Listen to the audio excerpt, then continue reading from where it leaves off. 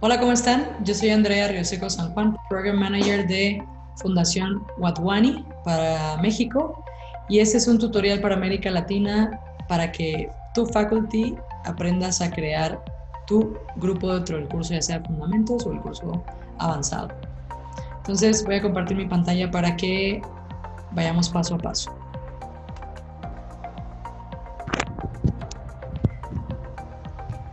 Así es como ves tu pantalla cuando entras a la plataforma. Si eres un profesor que ya tiene grupos o que estás, que ya abriste otros grupos, estás arrancando semestre con varios grupos. Yo tengo uno, dos, tres, cuatro, cinco grupos. Entonces, si tú eres un faculty nuevo, que es tu primera vez, te va a aparecer no has creado ningún grupo. Entonces vamos a crear este grupo. Nos vamos a la pestañita de cursos, aquí arribita. Y ahí vamos a encontrar varias opciones de curso. Estos son todos los cursos que tiene la Fundación Watwani. Depende de si eres un profesor que está habilitado para dar el curso de fundamentos o eres un profesor que está habilitado para dar el curso avanzado o los dos. En este caso, yo estoy habilitada solamente para dar el curso de fundamentos. Y em, en este caso, cuando te aparece así en gris, significa que no tienes permiso o algo falta por checar en tus eh, notas. Entonces vámonos a crear un curso de un grupo dentro del curso de fundamentos. Nos vamos a crear grupo. Y en la parte de crear grupo eh, nos aparecen estas opciones. El nombre del curso yo le voy a poner tutoriales Latam. Número de estudiantes, un número aproximado de estudiantes que vayas a tener, puede que no lo sepas aún, vamos a poner un número realista. Y la fecha cuando vas a comenzar tu curso, en este caso yo lo voy a comenzar el 2 de septiembre. La sala de clases, opcional si lo quieres poner, y crear.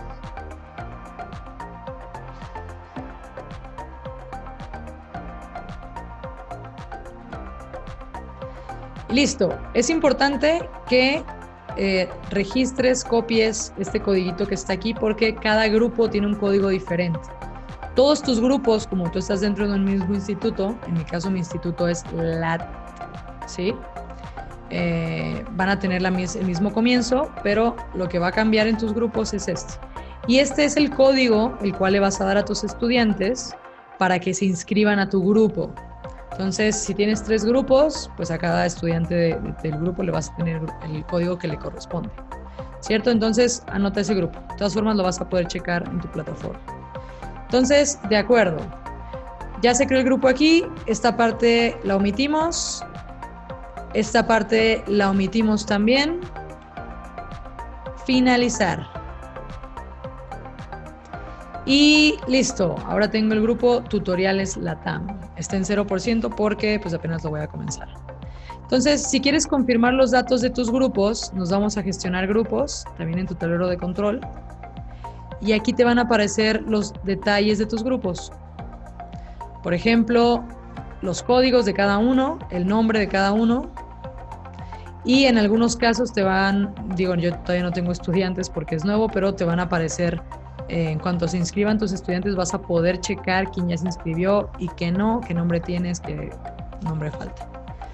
Y eh, listo, esa fue tu, ya quedó tu grupo creado.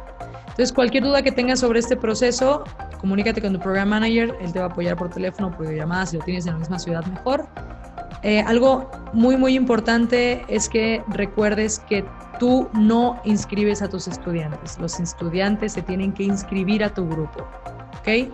Lo único que le tienes que dar tú es el código de instituto, que también lo podemos ver aquí.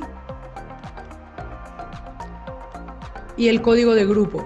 El código de grupo, bueno, ya vimos que es en gestionar grupos, pero el código del instituto, que es el primero que les pide a tus alumnos para inscribirse, es, aquí está. Entonces, dales esos dos datos para que se inscriban. Ellos se inscriben a tu grupo, chequen tu lista quién ya se inscribió y mucho éxito para comenzar.